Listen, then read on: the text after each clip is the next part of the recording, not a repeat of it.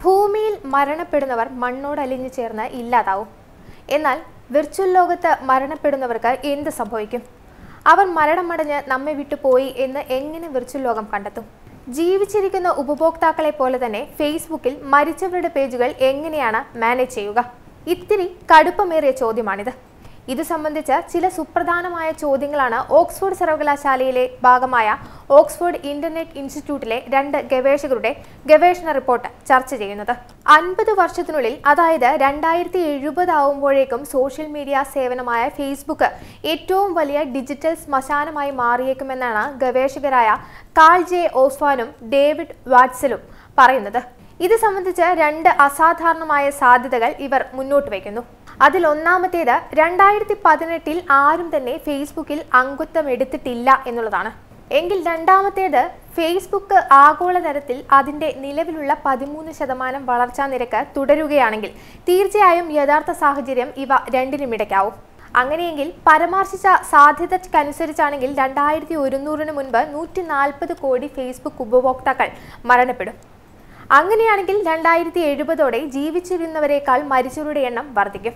രണ്ടാമത്തെ സാഹചര്യം അനുസരിച്ചാണെങ്കിൽ അതായത് ഫേസ്ബുക്കിന്റെ വളർച്ചാ നിരക്ക് പതിമൂന്ന് ശതമാനത്തിൽ തുടർന്നാൽ ഈ നൂറ്റാണ്ട് അവസാനിക്കുമ്പോഴേക്കും മരണപ്പെട്ട ഉപഭോക്താക്കളുടെ എണ്ണം നാനൂറ്റി തൊണ്ണൂറ് കോടിയാവും. ഇത് ഇരുവരുടെയും അനുമാനം മാത്രമാണ്. ഭാവിയിൽ നമ്മുടെയെല്ലാം ഡിജിറ്റൽ സംസ്കാരം മാറുന്നതനുസരിച്ച് ഈ നിരീക്ഷണങ്ങളിൽ മാറ്റവും വരാം. പക്ഷേ ഇങ്ങനെ ഒരു നിരീക്ഷണം മറ്റൊന്നിനും വേണ്ടിയല്ല. ഇത്രയധികം ആളുകൾ മരണപ്പെടുമ്പോൾ അവരെല്ലാം സൃഷ്ടിച്ച വലിയ അളവിലുള്ള ഡേറ്റ ഉടമസ്ഥാവകാശം ആർക്കാണ് ലഭിക്കുക? മരണപ്പെട്ടവരുടെ ബന്ധുക്കളുടെയും സുഹൃത്തുക്കളുടെയും താല്പര്യങ്ങൾക്കനുസരിച്ച് അവ കൈകാര്യം ചെയ്യപ്പെടുകയും അവ ഭാവി ചരിത്രകാരന്മാർക്ക് പ്രയോജനപ്പെടുത്താനാവുകയും ചെയ്യുന്നത് എങ്ങനെയാണ് ചോദ്യങ്ങൾ യഥാർത്ഥത്തിൽ ചോദിച്ചു തുടങ്ങുന്നതേയുള്ളൂ. ആ ചോദ്യം പ്രാധാന്യമർഹിക്കുന്ന ചോദ്യമായി മാറാൻ ഇനിയുമേറെ മുന്നോട്ട് പോവാനുണ്ടെന്ന് ഗവേഷകർ പറയുന്നു. മരണപ്പെട്ടവരിൽ ഡിജിറ്റൽ ശേഷിപ്പുകൾ കൈകാര്യം ചെയ്യൽ സോഷ്യൽ മീഡിയ ഉപയോഗിക്കുന്ന മറ്റുള്ളവരെയും ബാധകമാക്കുന്നതാണ്. കാരണം എല്ലാവരും അവരുടെ ഭൗതിക സ്വത്തുക്കൾക്കൊപ്പം വലിയ അളവിലുള്ള ഡേറ്റയും ബാക്കി വെച്ച് ഒരിക്കൽ മരണപ്പെടേണ്ടവരാണ്. ആളുകൾ മരണപ്പെടുമ്പോൾ നിലവിൽ ഫേസ്ബുക്കിൽ ഒരു സമ്പ്രദായമുണ്ട്. അയാളുടെ അക്കൗണ്ടിന്റെ ചുമതല ഏറ്റെടുക്കാനും ആ അക്കൗണ്ടിനെ ഒരു ആക്റ്റീവ് പ്രൊഫൈൽ എന്നതിന് പകരം അയാളുടെ സ്മാരകമാക്കി മാറ്റുകയും ചെയ്യുന്ന ഒരു ലെഗസി കോൺട്രാക്ട് ഫേസ്ബുക്ക് അനുവദിക്കുന്നുണ്ട്. ഇങ്ങനെ മരണപ്പെട്ടവരുടെ അക്കൗണ്ടുകൾ ഓരോ മാസവും മൂന്ന് കോടിയോളം ആളുകൾ സന്ദർശിക്കുന്നുമുണ്ട്.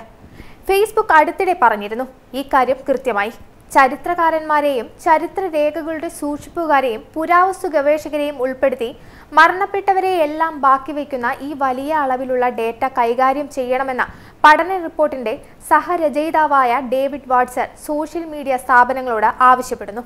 മനുഷ്യന്റെ പെരുമാറ്റത്തെക്കുറിച്ചും സംസ്കാരത്തെക്കുറിച്ചും വ്യക്തമാക്കുന്ന ഇത്രയും വലിയൊരു ചരിത്ര സൂക്ഷിപ്പ് മുമ്പൊരിക്കലും ഉണ്ടായിട്ടില്ല.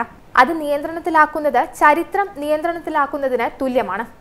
ഐക്യരാഷ്ട്രസഭയുടെ ജനസംഖ്യാ നിരക്കും മരണനിരക്കും സംബന്ധിച്ച വിവരങ്ങളെ അടിസ്ഥാനമാക്കിയാണ് ഗവേഷകർ ഇങ്ങനെ ഒരു പഠനം നടത്തിയത്. എന്റെ പേര് ഗീതു സതീശൻ. ഈ വാർത്ത നിങ്ങൾക്ക് ഇഷ്ടമായാൽ ലൈക്ക് ചെയ്യുക. Kerala Kaumudi news YouTube channel subscribe ചെയ്യുക. അഭിപ്രായങ്ങളും നിർദ്ദേശങ്ങളും രേഖപ്പെടുത്തുക.